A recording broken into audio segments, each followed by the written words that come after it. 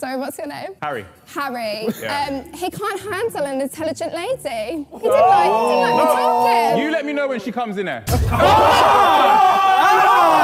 You let me know. Ah!